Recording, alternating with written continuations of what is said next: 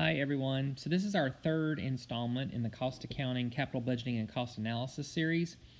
And in this video, we're going to be speaking specifically to net present value method. So it's our third uh, capital budgeting model. We've already introduced the payback period and the accounting rate of return. And now we're working specifically with net present value method. So when working with the net present value method, we're going to discount the cash inflows to their present value and then compare that with the capital outlay. Now remember capital outlay is simply the cost of the asset. So what we're basically doing is taking the difference between the present value of the, of the cash inflows and comparing that with the cost of the asset or cost of the investment. And when we're doing this, we all want to make sure that we're always comparing the discount rate, which is the investment must meet or exceed this rate to be acceptable. So this can also be called the required rate of return, or RRR. You may have heard it called that. This can also be called the expected rate of return. And it can also be called the hurdle rate. so at the point where net present value is zero,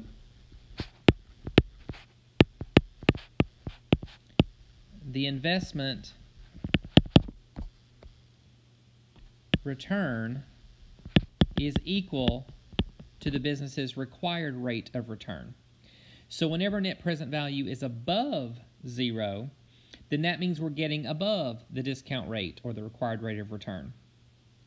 So the higher the net present value, typically the more attractive the investment is. And we're going to see where that, that may not be true in some instances here in just a few minutes. So let's look at an example. We're going to use the net present value method to determine whether Salon Products should invest in the following projects. So we're going to look at Project A together. So Project A costs $272,000 and offers eight annual net cash inflows of $60,000. Salon Products requires an annual return of 14% on projects like A. So unlike the payback period and the accounting rate of return, which did not incorporate the time value of money, net present value as well as the IRR, internal rate of return, do incorporate the time value of money. So we're going to be using our present value factor table, um, which I'll show you here in just a second, to be able to calculate the net present value. So let's go ahead and look at the table here. So this is the present value of an annuity table. So we can see the annuity there. The present value of a dollar table, we also call that present value of lump sum table. So if there's just one payment, then you would say that's then you would use the present value of lump sum table. However, in this case, we're getting eight annual net cash inflows of $60,000. They're the same payment over and over again for eight years, and that's so that's an annuity. So we need our annuity table, and they're telling us that they're eight annual periods. So that's eight. We'll go to the line eight on our annuity table, and the return is 14%. So if we scroll over to column 14%, we find the annuity factor to be 4.639. So we're going to use this factor in calculating the net present value. So keep in mind when you're using these tables, these factors that you're looking up, they incorporate the compounding of interest, they incorporate the interest rate, and they incorporate the periods. And if you're into um, fancy formulas, if you're a finance person, there's the formula for you to actually calculate the factor.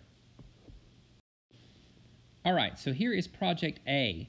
So the first thing that happened is, is we invested in Project A for a total of $272,000, and we did that now. And the value of that $272,000 right now is $272,000. And that amount of money is going out of our pocket, so that's why you see it in parentheses here. It's an outgoing of cash. The $60,000 annual net cash inflows is a positive number, and it's an annuity and that's going to happen years 1 through 8. And we looked up our present value of annuity factor at 14% to be 4.639. If you multiply that times $60,000, we get the present value of those eight cash inflows of $278,340. When you get the difference in the present value of the cash inflows and the capital outlay of $272,000, we get a net present value of $6,340. That's a positive number. So this would be a good invest, investment per the net present value model.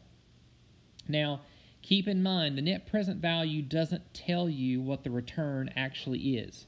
It only tells you whether you're getting more than your required rate of return, whether you're getting your required rate of return, in other words, net present value would be zero, or you're not getting your required rate of return. That would be where net present value is negative. In this case, we know we're getting more than our required rate of return. We don't know how much more, but it's probably not a lot more because it's a small number. The net present value is pretty small. All right, so I've circled um, Project B here. I would like for you to give Project B a shot. See if you can figure out the net present value and determine if Project B would be a good investment.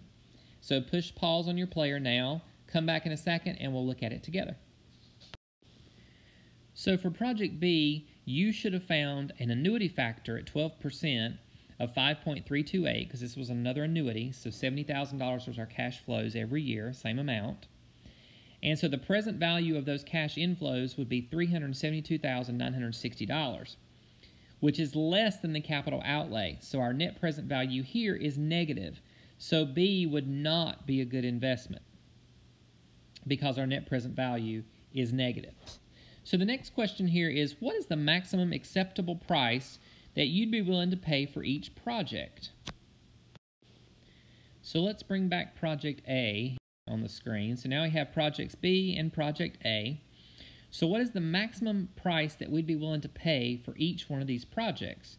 So let's look at project A first. Now in project A, we had a positive net present value. However, I would be willing to pay up to $278,340 for this investment because at that capital outlay, net present value would be zero.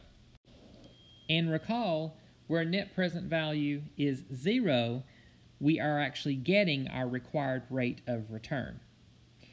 In project B, I would only be willing to pay up to $372,960 because at that point, at that point, net present value would be zero, and I would be getting my required rate of return. So what do we do when it's not an annuity? When the payments are not equal? Well, in this case, we have to use the lump sum table, the present value of lump sum table, because we're doing net present value, so we're always going to be focused on the present value tables. We just have to determine is it an annuity or is it lump sums. So here Bevel Industries is deciding whether to automate one phase of its production process. The manufacturing equipment has a six-year life and will cost $900,000. Projected net cash inflows are as follows, years 1 through 6, and notice they're all differing amounts. We need to compute the project's net present value using Bevel, Bevel Industries' possible 14% rate. Should Bevel Industries invest in this equipment? So as you can see in this example, we still have our capital outlay of $900,000, which would be worth $900,000 today. And years one through six, we have lump sum amounts coming in at different times during that period of time. So we go to our present value of lump sum table. So in the present value of lump sum tables, you would simply go right down the line once you find 14%. So year one, the factor is 0.877. Year two, the factor is 0.769, and so forth. So what this is actually telling us, if we think about it, is we would have to have $79,000, $79,800 today to end up with $175,000 at 14% in six years. And that's what each one of these is telling us. So what we find when we do this, we actually find a negative net present value. So we now know that is a bad investment. And it's quite large, so we're not getting anywhere near our required rate of return on this investment. So let's add to this story just a little bit. Bevel Industries could refurbish the equipment at the end of six years for $100,000. The refurbished equipment could be used one more year and provide $75,000 of net cash inflows in year seven. Additionally, the refurbished equipment would have a $50,000 residual value at the end of year seven. So, knowing this information, should Bevel Industries invest in the equipment and refurbish it after six years? So, a hint is in addition to your answer to what we just did in part one above, discount the additional cash outflow and inflows back to the present value. So, give this one a shot. Press pause on your player. See if you can figure out now, knowing this information, would it be a good investment at this point? and come back and we'll take a look at it together. So as the story tells us, in the sixth year, we can have an additional capital outlay of $100,000. So at this point, we're back here in year one trying to make this decision. So it's asking me, what would I need to invest today to have $100,000 in six years? So we'd go to the present value of lump sum table, for year six, and the factor was 0.456. So we'd have to invest $45,600 today to have $100,000 in six years. In year seven, they tell us that we will have actually two cash inflows in the same year. So it'll provide $75,000 of net cash inflows during year seven, and then we can sell it for $50,000 at the end of year seven. And the seventh year present value, a lump sum factor at 14% is 0.4. So in other words, we would have to invest $20,000 today to end up with $50,000 at 14% in seven years. That's what it's basically telling us. So now we see that this additional information gives us a positive net present value of 4,400. So now knowing this, is this a good investment? We actually find this is not a good investment. Because if you'll remember, the first six years prior to the refurbishment was almost a negative $20,000 net present value. This 4400 positive net present value does not outweigh the negative net present value in the first six years. So this is still not a good investment. So I said earlier that we typically would pick the investment with the highest net present value. That is true if the investments cost the same thing. But what if the investments have differing initial costs and they all have positive net present values? Do we just simply pick the one with the highest net present value? That isn't necessarily true. We want to use something called the profitability index when we're looking at multiple uh, investments that have positive net present values and differing initial investments. So we have a formula we want to use when calculating the profitability index. And that formula is we're going to take the present value of the net cash inflows and divide that by the cost of the investment. So what this is going to give me is the number of dollars returned for every dollar invested. So for every one dollar that I invest in something, how many dollars is it going to return? Is it going to be a dollar and fifty cent, a dollar and fifty-two cent? How much am I going to, going to get back for my investment? So let's use this simple example to determine which one of these investments we should really invest in. So Sheffield Manufacturing is considering three capital investment proposals. At this time, Sheffield Manufacturing only has funds available to pursue one of the three investments.